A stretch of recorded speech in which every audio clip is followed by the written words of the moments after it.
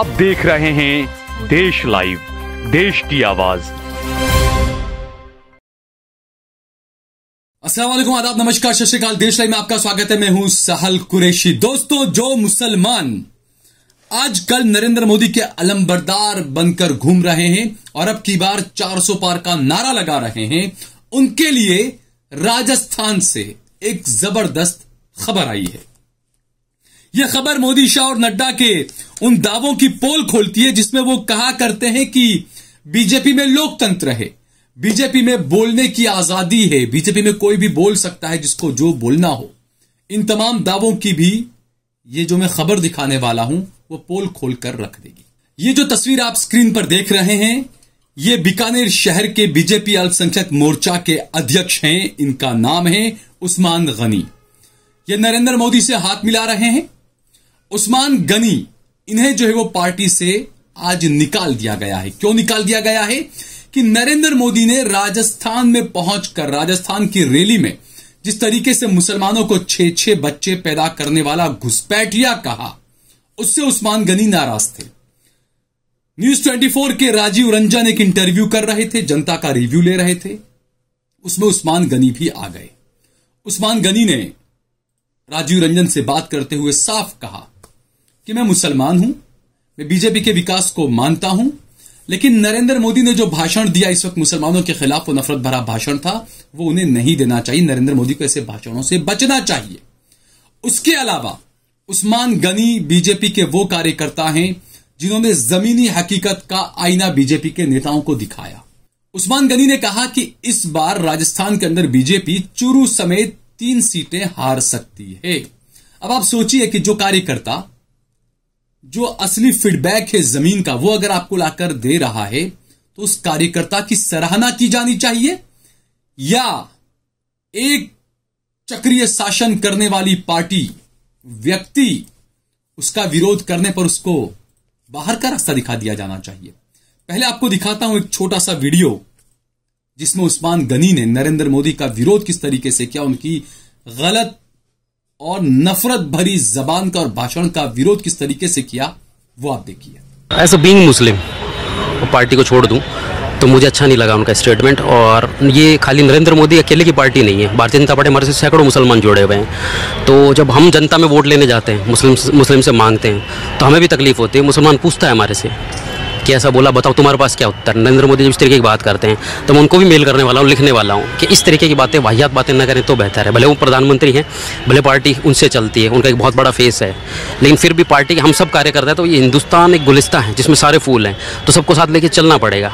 भले पार्टी मेरे खिलाफ अनुसार कार्रवाई करती है तो उसके लिए मैं तैयार हूँ। इस बार हम तीन चार सीटें लूज़ करेंगे। बीजेपी हार रही है तीन चार सीटें बाकी जीत जाएगी। कौन कौन सी कंपिटिटिव है एक तो चूरू। राजस्थान में। एक बाड़मेर कंपिटिटिव है और पार्टी वाली रविंदर रविंदर सिंह भाटी वो नया चेहरा है तो मुझे लगता है लोग उसके साथ जा रहे हैं। हालाँकि मैं बीजेपी से ताल्लुक करता हूँ मैं जिला अध्यक्ष हूँ बीजेपी के हाँ? हाँ मैं जिला अध्यक्ष हूँ भारतीय जनता पार्टी से। जी। अल्पसंख्यक मोर्चे के। मामडन हूँ मैं मुस्लिम हूँ माइनॉरिटी मोर्चे का अध्यक्ष हूँ मैं। लेकिन सत्य को मैं नकारता नहीं हूँ मैं सीधी बातें करता हूँ। तो देखा दोस्तों आपने उस्मान गनी यहाँ पर अपना विचार व्यक्त कर रहे थे, पार्टी के बारे में बता रहे थे, और मुझे लगता है कि उस्मान गनी ने इसमें कुछ भी गलत नहीं कहा है। लेकिन इसके बावजूद उस्मान गनी को पार्टी से बाहर का रास्ता दिखा दिया गया। उस्मान गनी को छह साल के लिए पार्टी से निलंबित कर दिया गया है, निष्कासित कर दिया गया है। जब मोदी पीएम बने 2014 में, तब इनके पास पास जो है वो चेहरे जो रहते थे, वो चेहरे कौन से थे?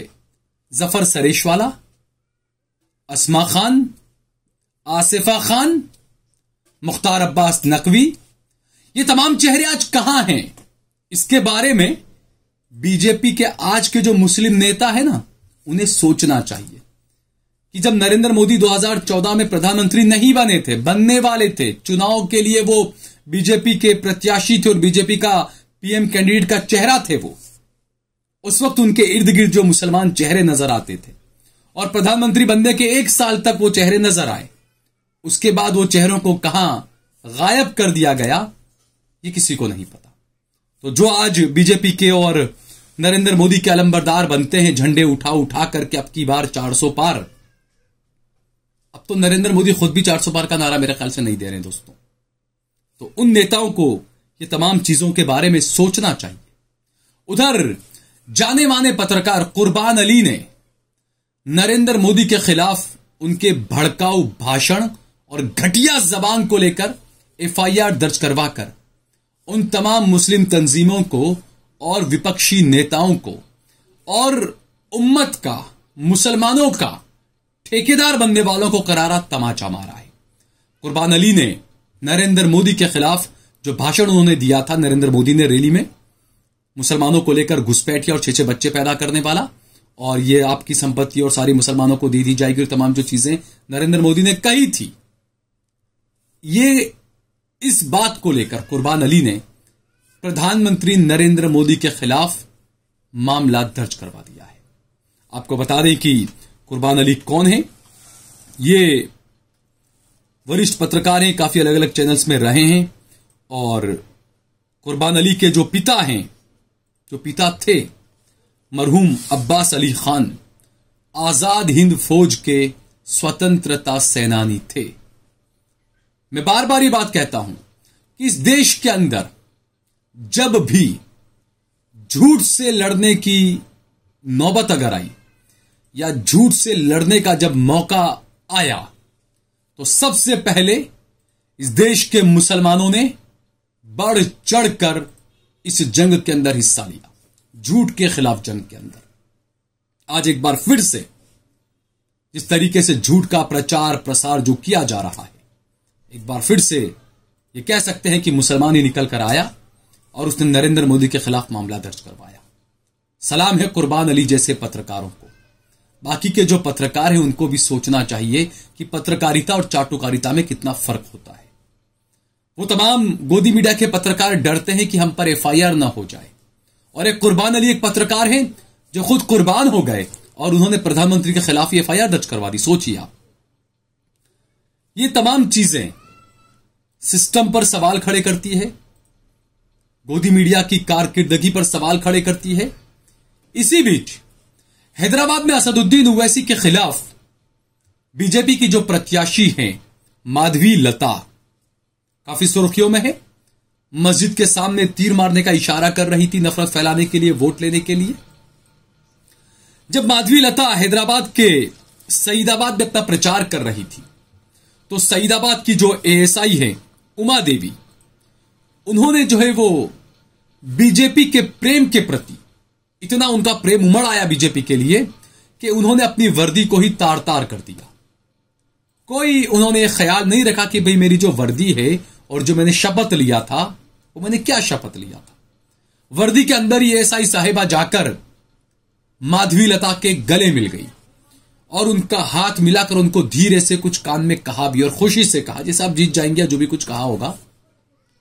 तो ये आप देखें कि किस तरह के लोग पुलिस के सिस्टम के अंदर भी बैठे हुए हैं। किस तरह की मानसिकता के लोग होंगे ये। अगर इनकी ड्यूटी कहीं पर लगा दी जाए तो ये लोग क्या करेंगे, ये हम बखूबी सोच सकते हैं। बहरहाल, अच्छी बात यह है कि एएसआई पर फ़ौरन कार्रवाई की गई और उन्हें उनके पद से सस्पेंड कर दिया गया है। ये तमाम चीज़ें मैं आपको इसलिए बता रहा हूँ ताकि आपको इस बात का एहसास हो कि आप वर्दी में जब होते हैं तो आप किसी पार्टी के या किसी धर्म के समर्थक नहीं हो सकते और होना भी नहीं चाहिए। आपका धर्म, आपकी आस्था, वो एक अलग चीज़। आपको, आपका धर्म जो दिखाता है, सिखाता है कि गलत का साथ मत दो, सच बोले तमाम चीज़ें, ये आपको वर्दी में ख्याल रखना चाहिए। लेकिन आप वर्दी के अंदर इस तरीके से बीजेपी प्रत्याशी के जाके गले लग जाएँ, खुशी के मारे आप फूले नहीं समा रहे, क्या आपकी वर्दी आपको इसकी इजाज़त देती थी? ये तमाम चीज़ें, ये तमाम खबरें आपको सोचना चाहिए इसके बारे में, आपको देखना भी चाहिए कि आखिरकार इस देश के अंदर किस तरीके से काम किया जा रहा है। कोई अगर पुलिस अधिकारी आरएसएस बजरंग दल या हिंदू संगठन के किसी कार्यकर्ता के गलत काम को लेकर उसके खिलाफ मामला दर्ज करता है या गिरफ़्तार करता है तो बड़े से बड़े अधिकारियों को या तो ट्रांसफ़र कर दिया जाता है या सस्पेंड कर दिया जाता है। और उसी की वजह से ये बेचारे जो छोटे मोटे एएसआई वगैरह होते हैं ना, ये डर जाते हैं। नहीं नहीं भाई, बीजेपी की प्रत्याशी है, सरकार इनकी है तो इनका तो विरोध नहीं करना, इनके सामने नतमस्तक हो जाना ही सही है। यही सोच देश का बेड़ा गर्क कर रही है। इस बारे में हम सबको सोचना चाहिए।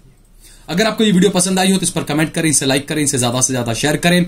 अगर आपने हमारा चैनल देश लाइव सब्सक्राइब न किया हो तो हमारे चैनल को ज़रूर सब्सक्राइब करें। हमने हमारा नंबर भी दिया हुआ है, ज़्यादा से ज़्यादा हमारा सहयोग करें, समर्थन करें।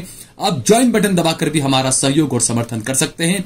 आप अपने अपने खुद के चैनल देश लाइव के साथ में ज्वाइन बटन दबाकर जुड़ सकते हैं।